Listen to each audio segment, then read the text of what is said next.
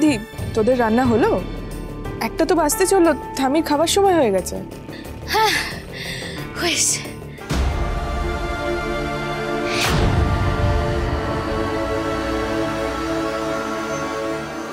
আহ একেবারে শঙ্কর ঘোষের রান্নার গন্ধ।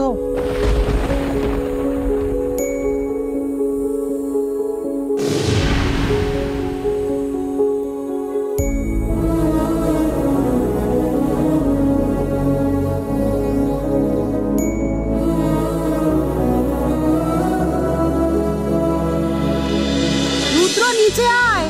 তোর ঠাম্মির খাবার সময় হয়ে গেছে।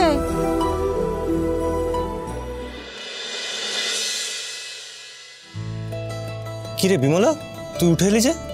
তোর শরীর এখন ঠিক আছে? মা তোমরা বসে পড়ো। আজকে ধি আর গৌরী নিজেদের হাতের খাবার নিজেরাই পরিবেশন করবে। আপনারা খেয়ে নিন আমি পরে খেয়ে নেব।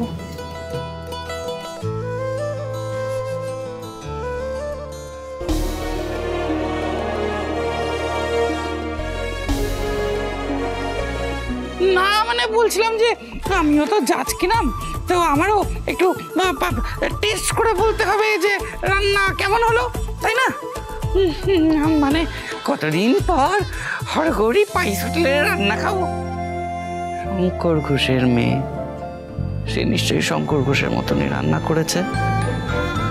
কই কই কই কই দাও দাও দাও দাও দাও, খাবার দাও। দেখি দেখি দেখি দেখি।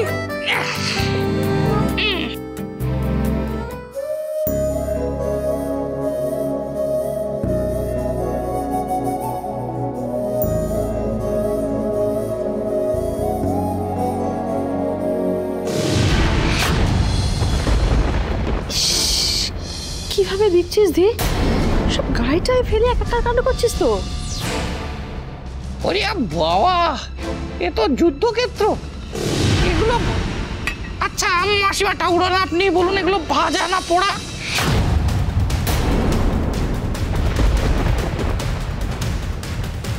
এই দেখুন, পটল আর বেগুন, মিশে গেছে মিশে গেছে, একেবারে মিশে গেছে।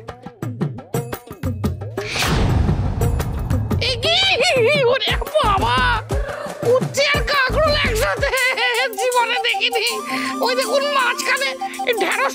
ওই বাবা, এটা ঢেঁড়স। এটা কাউকে মারলে সে তো পড়ে যাবে। এ তো বোমা। এ কে খাবে?